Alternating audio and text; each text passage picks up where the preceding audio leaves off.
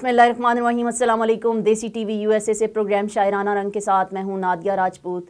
आज का प्रोग्राम फैज़ अहमद फैज़ के बारे में है जो कि किसी भी तारफ़ के मोहताज नहीं है। उर्दू अदब में एक ख़ास नाम और मकाम बनाया फैज़ अहमद फैज़ ने। और अमूमन ऐसे होता है कि लोग जो हैं वो आसूदा खाक होने के बाद उनको काफ़ी ज़्यादा शहरत मिलती है। आ, लेकिन जो है जब ये शायरी करते थे इन्होंने अपनी आ, हयात के दौरान भी जो है वो अवामनास में काफ़ी नाम बनाया काफ़ी मकबूल हुए। आ, अपनी शायरी की वजह से इनको इनकलाबी शायर भी कहा जाता है। और इसके अलावा जो है ये जो है शायरी जो करते थे उसमें इन्होंने अपना एक ख़ास मकाम बनाया जिसमें जो अमूमन शायरी होती है प्यार मोहब्बत और इश्क के मुतालिक। तो इन्होंने उसमें काफ़ी नाम बनाया इकबाल के बाद और गालिब के बाद। तेरह फरवरी 1911 में ये पैदा हुए और उसके बाद जो है इनकी जो वफ़ात है वो 20 नवंबर उन्नीस सौ चौरासी को हुई। तो ये भी जो है, इकबाल की तरह जो है, ये सियालकोट में पैदा हुए और इन्होंने जो है, एक ख़ास मकाम बनाया उर्दू शायरी में। अगर हम इनकी शायरी की बात करें तो इनकी शायरी जो है वो ना सिर्फ़ पाकिस्तान में मतलब लेकिन जो है भारत में भी काफ़ी ज़्यादा मकबूल रही, क्योंकि ये एक ऐसे शायर थे कि शायरी वैसे भी जो कोई भी आर्ट होता है, उसकी कोई सरहद नहीं होती। आर्ट जैसे म्यूज़िक हो गया, शायरी हो गई डांस हो गया तो उसकी कोई बाकायदा सरहद नहीं होती। और लोग उसको जो है, वो दुनिया के हर खत्े से, जहाँ पर भी वो रहते हैं तो वो उसको जो लगाव होता है, उसके तहत जो है, वो लोग उसको पसंद करते हैं। तो आज जो है, वो फैज़ अहमद फैज़ की कुछ ऐसी शायरी मैं आपके साथ शेयर करूँगी, जो मेरे अपने दिल के भी बहुत करीब है, और उनकी जो शायरी जो है जिसकी वजह से उनको अवामनास में काफ़ी ज़्यादा मकबूलियत मिली।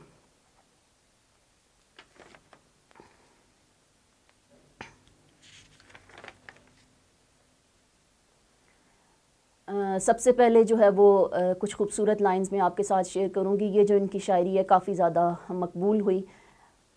वो लोग बहुत खुशकस्मत थे जो इश्क को काम समझते थे।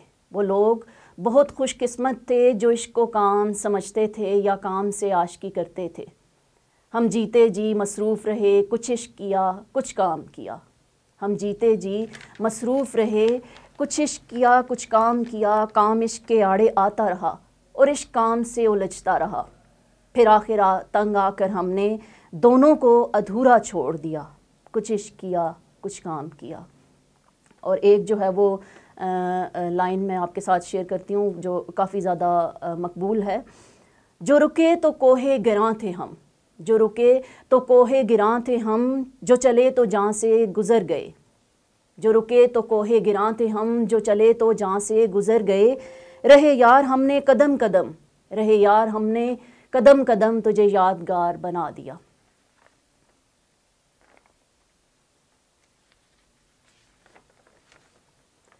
वो बात सारे फसाने में जिसका ज़िक्र ना था, वो बात सारे फसाने में जिसका ज़िक्र ना था, वो बात उनको बहुत नागवार गुजरी है। आए तो यूँ के जैसे हमेशा थे मेहरबान, आए तो यूँ के जैसे हमेशा थे मेहरबान भूले तो यूँ के जैसे कभी आशना ना थे।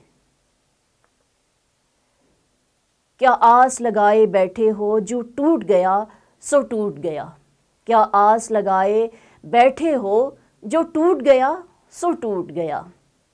कब अशकों से जुड़ जुड़ सकता है, कब अशकों से जुड़ सकता है, जो टूट गया, सो छूट गया।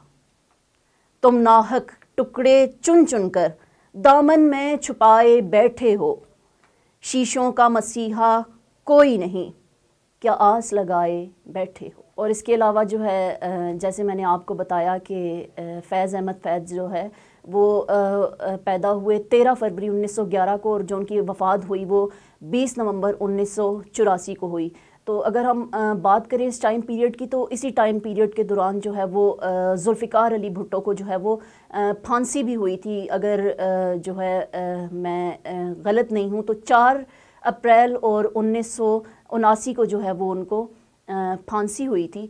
तो उस हवाले से भी जो है वो फैज़ ने कुछ शायरी लिखी। और उस पर जो है उनको काफ़ी ज़्यादा मज़ाहमत का भी सामना करना पड़ा, लेकिन उन्होंने वो शायरी जो है वो जुल्फ़िकार अली भुट्टो के बारे में लिखी तो वो भी मैं आपके साथ शेयर करती हूँ। कभी तो सोचना, ये तुमने क्या किया लोगो? कभी तो सोचना, ये तुमने क्या किया लोगो? ये किसको सरदार खो दिया लोगो? ये किसको सरदार खो दिया लोगो? हवाए बुगज़ो खबासत, चली तो अपने साथ। हवाए बुगज़ो खबासत चली तो अपने साथ उड़ा के ले गई इंसाफ की कबा लोगो। दिया था सुबह मुसरत ने एक चराग हमें। दिया था सुबह मुसरत ने एक चराग हमें। उसी को तुमने सरे शाम खो दिया लोगो। उसी को तुमने सरे शाम खो दिया लोगो। सुला दिया जिसे ज़िंदा में, तुमने मौत की नींद। जगाएगी उसे हालात की सदा लोगो। यानी इसके बारे में अगर हम एक्सप्लेन करें तो वो यानी इस शायरी में ये कहना चाह रही हैं कि आपने अपनी कौम को ये कहना चाह रहे हैं कि आपने एक बहुत बड़े लीडर को खो दिया है और जब वक्त गुजरेगा तो वक्त गुजरने के साथ साथ जो है वो आपको मालूम होगा कि आपने कितना बड़ा एक रहनुमा और कितना बड़ा लीडर जो है वो आपने खो दिया है। दोनों जहाँ तेरी मोहब्बत में हार के, वो जा रहा है कोई शबे गम गुजार के। वीरा हैं, मैं कदा खमो सागर उदास हैं। तुम क्या गए के रूठ गए दिन बहार के? और एक फ़ुर्सत गुनाह मिली वो भी चार दिन। एक फ़ुर्सत गुनाह मिली वो भी चार दिन। देखे हैं हमने हौसले परवरदिगार के। देखे हैं हमने हौसले परवरदिगार के। दुनिया ने तेरी याद से बेगाना कर दिया।